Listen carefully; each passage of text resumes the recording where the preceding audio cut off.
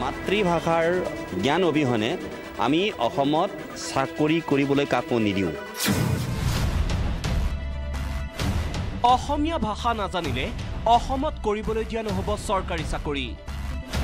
অসমীয়া বা অসমৰ থলুৱা ভাষা নাজানিলে অসমত নাপাব চৰকাৰী চাকৰি। চৰকাৰী চাকৰি পাবলৈ জানিব লাগিব অসমৰ চৰকাৰী ভাষা। এই কঠোৰ সকিয়নি অসম সাহিত্য সভাৰ সভাপতি ডক্টৰ পৰমানন্দ ৰাজবংশীৰ।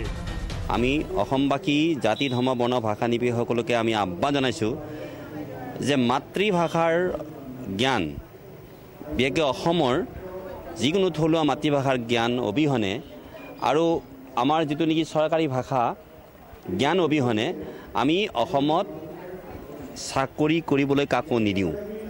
এই ঘোষণা আমি এতিয়াই কৰিছোঁ এইকাৰণে যাতে সকলো সাৱধান হয়।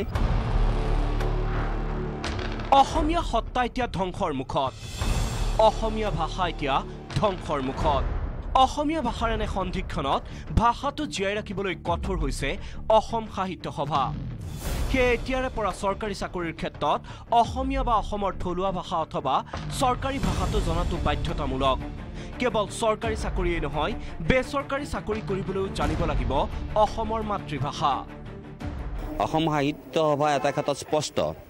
আমি এইটো মুহূৰ্তত আমাৰ নিজৰ যিটো নেকি জাতীয় সত্তা ধ্বংসৰ মুখত নিজৰ ভাষা এতিয়া ধ্বংসৰ মুখত আমি এতিয়া কাৰো কথা নুশুনো অসম সাহিত্য সভাই।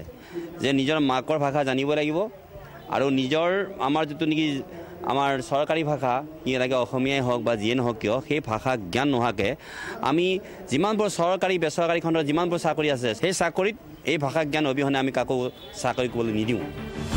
চতুৰ্থ বৰ্গৰ পৰা প্ৰথম বৰ্গলৈ সকলো চাকৰিৰ বাবে লাগিব অসমীয়া বা থলুৱা ভাষাৰ ভাষা জ্ঞান। চতুৰ্থ শ্ৰেণীৰ পৰা একেবাৰে আমাৰ মানে প্ৰথম শ্ৰেণীলৈকে যিমান চাকৰি আছে সেই চাকৰিত এই ভাষা জ্ঞান অবিহনে আমি কাকো চাকৰি কৰিবলৈ নিদিওঁ। বাছ আমি চৰকাৰখনকো কৈছোঁ যে বিহিত অৱস্থা তেখেতসকলে হাতত লওক। আমি এনেকৈ নিজৰ মাৰ মাতৃভাষাৰ মৃত্যু আমি চাই থাকিব নোৱাৰোঁ। অসমীয়া ভাষাক মান্যতা দিয়ক নহয় চাকৰি এৰক। এই কঠোৰ সকিয়নি অসম সাহিত্য সভাৰ সভাপতি ডক্টৰ পৰমানন্দ ৰাজবংশীৰ। ইয়াৰ বাবে বিহিত ব্যৱস্থা গ্ৰহণৰ বাবে চৰকাৰকো দাবী জনাইছে অসম সাহিত্য সভাই।